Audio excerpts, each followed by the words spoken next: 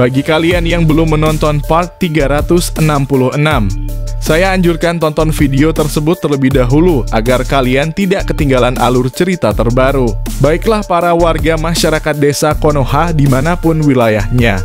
Berdasarkan pada episode sebelumnya, Volkanis kini dalam mode Cakra Kitsune, berdiri dengan aura yang sangat menakutkan. Tubuhnya diselimuti armor biru berkilau, dan pedang apinya membara dengan kekuatan yang begitu hebat.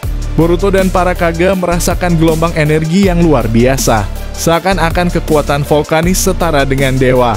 Melihat keadaan ini, Boruto menyadari betapa berbahayanya situasi yang mereka hadapi. Semuanya hati-hati, dia berada di level mendekati dewa. Kita harus mengevakuasi warga secepatnya, kata Boruto. Para Kage mengangguk mengerti bahwa keselamatan desa adalah prioritas utama. Mereka mulai mengatur strategi untuk mengevakuasi warga. Tetapi tidak ada waktu untuk berlama-lama. Volkanis, dengan senyuman jahat, tahu bahwa mereka sedang berusaha melindungi warga. Dan dia tidak akan membiarkan mereka berhasil. Dengan satu gerakan tangan, Volkanis memanggil monster Kitsune berukuran manusia dari cakra yang mengelilinginya. Monster-monster itu berukuran besar, dengan banyak ekor dan mata yang menyala. Serang mereka teriak Volkanis dan ribuan monster kitsune mulai meluncur menuju para Kage dan Boruto. Shikamaru berkata, sialan dia mencoba membuat kekacauan di sini dengan mengeluarkan pasukan itu. Apa yang sebenarnya dia cari? Gara pun menjawab, itu benar. Dia mencari sesuatu yang tujuannya untuk membebaskan Amaterasu. Kekacauan pun terjadi. Monster-monster Kitsune menyerang dengan ganas memaksa para shinobi untuk melawan dengan sekuat tenaga. Boruto tidak ingin mundur. Kawaki, kita harus mengejar Volkanis, kata Boruto. Tetapi sebelum mereka bisa melangkah maju, monster-monster itu sudah mulai menghalangi jalan. Sasuke dan Itachi yang menyadari situasi semakin genting. Segera mengeluarkan Susanoo mereka. Kita harus menghentikan monster-monster ini, kata Sasuke. Membentuk Susanoo berwarna ungu yang mengagumkan. Itachi menciptakan Susanoo-nya yang lebih kecil di sampingnya. Para kage lainnya juga tidak tinggal diam.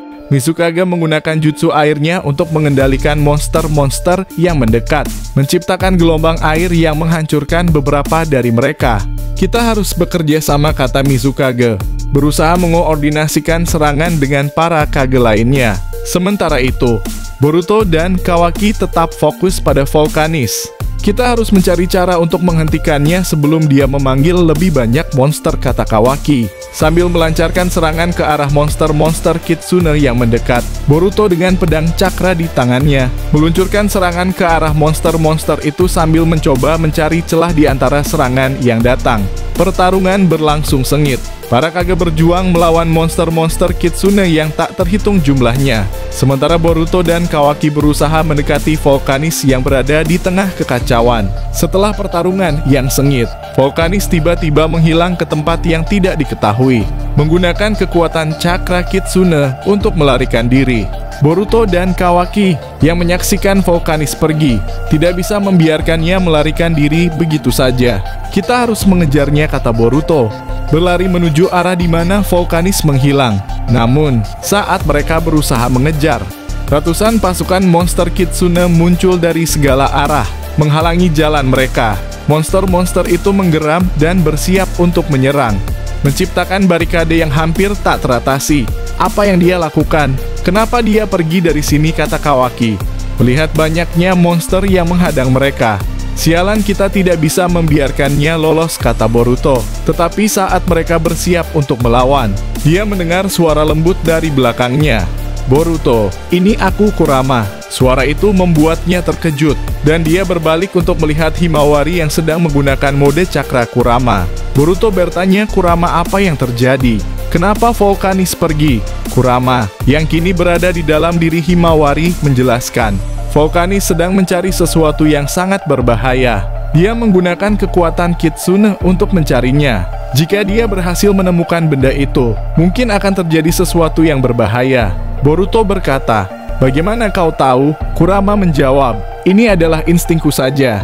Kawaki yang mendengar penjelasan itu berkata, Kita tidak bisa membiarkannya mendapatkan benda itu. Kita harus menghentikannya sebelum terlambat. Boruto mengangkat pedang cakranya, bersiap untuk beraksi. Biarkan aku mengeluarkan kekuatanku untuk melawan semua pasukan Kitsune ini. Dengan begitu, kalian bisa mengejar Volkanis dan menggagalkan rencananya, kata Kurama. Boruto menjawab, Baiklah, aku tahu apa yang harus dilakukan. Kita tidak punya waktu lagi. Jika Volkanis mendapatkan benda itu, semuanya akan berbahaya. Dan mungkin itu adalah benda untuk membebaskan Amaterasu.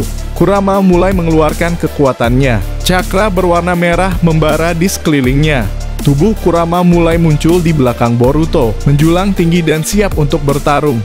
Dia menyerang gerombolan pasukan Kitsune yang menyerang mereka. Cakra Kurama meluncur dengan kecepatan luar biasa, menghancurkan monster-monster Kitsune yang berusaha mendekat. Dengan setiap serangan, dia menciptakan gelombang yang membuat monster-monster itu terbang jauh. Boruto dan Kawaki melihat kesempatan itu dan segera bergerak lebih dekat ke arah tempat Volkanis pergi.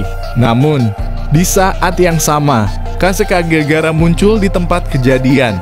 Dia melihat kekacauan yang terjadi dan merasa perlu untuk membantu.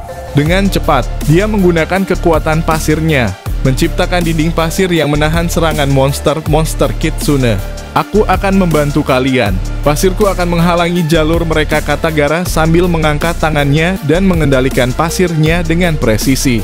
Pasir yang digerakkan dengan sempurna mendorong monster-monster Kitsune menjauh dari Boruto dan Kawaki, menciptakan jalan yang jelas bagi mereka untuk melarikan diri. Sekarang, cepat kejar Volkanis kata Gara. Kurama terus melanjutkan pertempuran melawan ratusan pasukan Kitsune. Dengan setiap serangan, dia menunjukkan kekuatan yang luar biasa, memastikan bahwa Boruto dan Kawaki bisa melanjutkan pencarian mereka tanpa hambatan.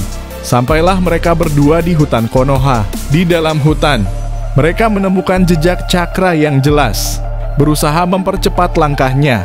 Namun, saat mereka mendekati sumber cakra, mereka melihat Volkanis berdiri di depan sebuah pohon besar dan tua yang bersinar dengan cahaya misterius. Boruto berteriak, Volkanis, kami tidak akan membiarkanmu mendapatkan benda itu. Volkanis berbalik, senyum jahat menghiasi wajahnya. Kalian terlambat. Dengan kekuatan Kitsune dan benda ini, Dewa Amaterasu semakin dekat dengan kebebasannya. Volkanis mengangkat pedang apinya tinggi-tinggi.